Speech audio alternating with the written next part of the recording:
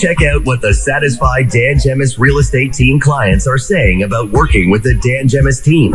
Visit dangemus.com. You know, I got to thank you for being a voice of reason in a sea of insanity. Now back to the Dan Gemus Real Estate Show on AM 800. Okay, welcome back to the show. Uh, oh my goodness, I went through the giveaway here, and I'm going. I've got a fund on my screen. I forgot to press the magic button here. Uh, who wants to uh, do? Oh, Kath, raising her hand. All right, Kath, there you go. There's the screen. We're going to give away the gift card for the Richmond Popcorn Company. 50 bucks to the lucky winner.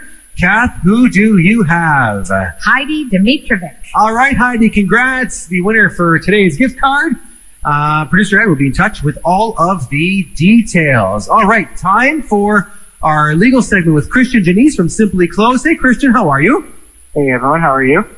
Fantastic. Magdalena, Kathy Talbot in the studio today, and uh, you've got a great topic. Uh, and after your topic, Christian, we have a listener question that we're going to get to. So, uh, what are we talking about today? Okay, so today we're talking about notices of security interest.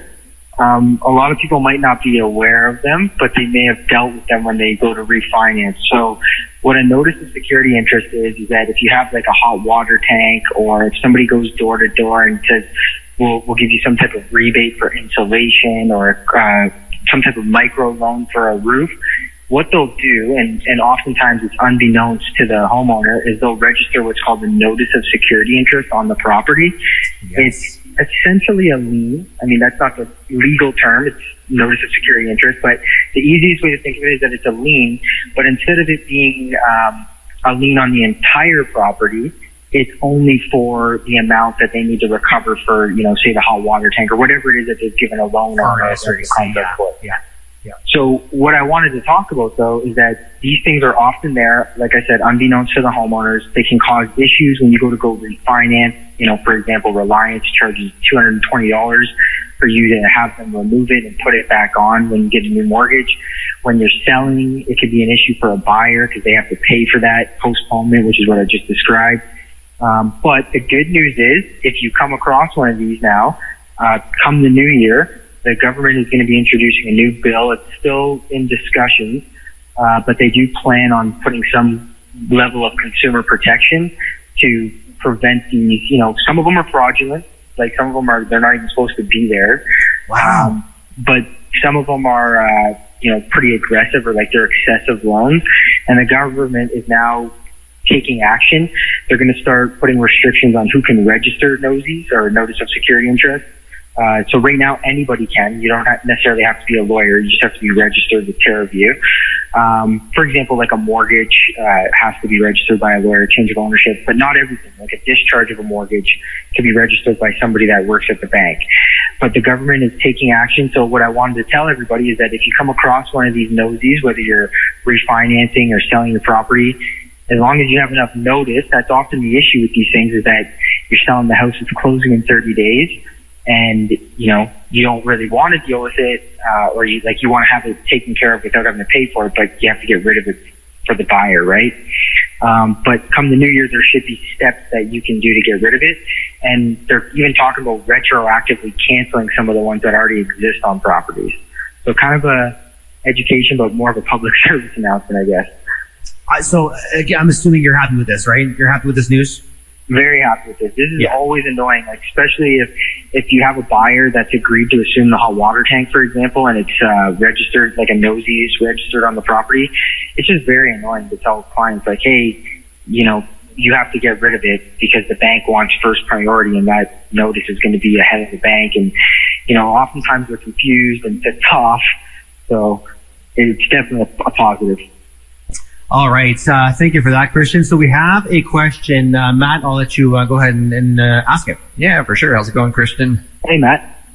So uh, the question is about appliances in a home. So let's say someone puts an offer on a property, and one of the things, let's say they put a clause in the offer um, about cleaning the appliances. Perhaps they say something along the lines of, you know, the seller agrees to deep clean all appliances um, prior to closing.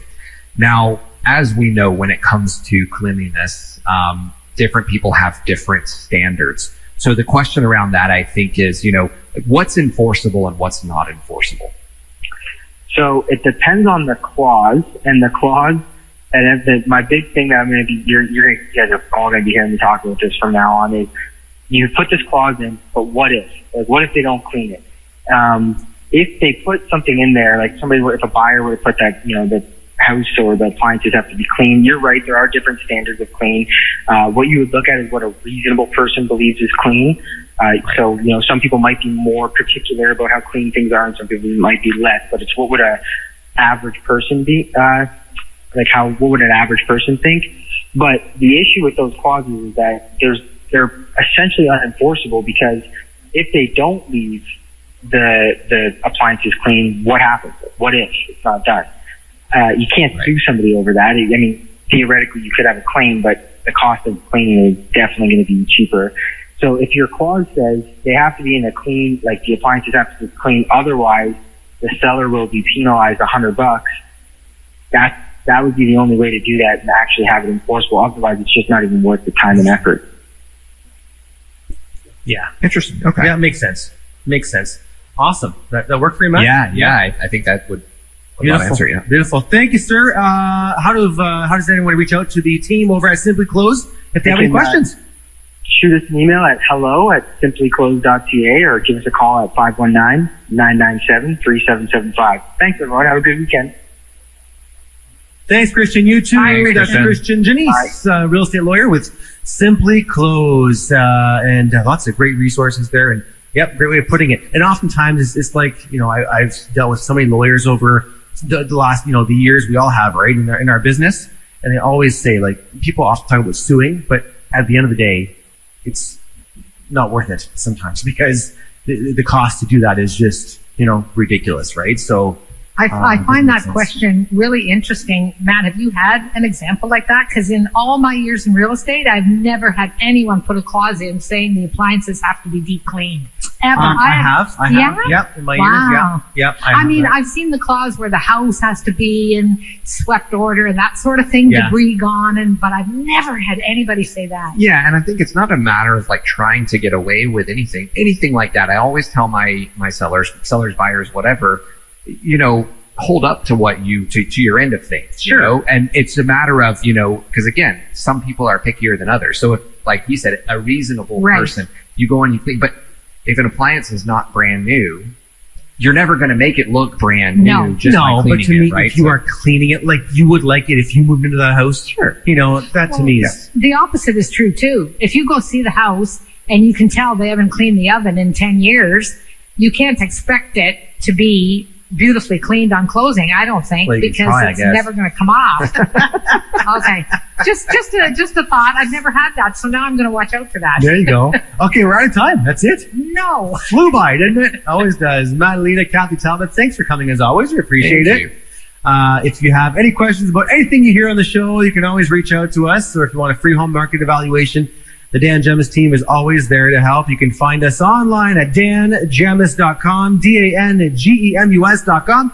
You can also phone us with the old telephone, 519-566-5565. Enjoy the rest of the gorgeous day. We'll see you all tomorrow right here on AM 100 from noon to 1. See you then.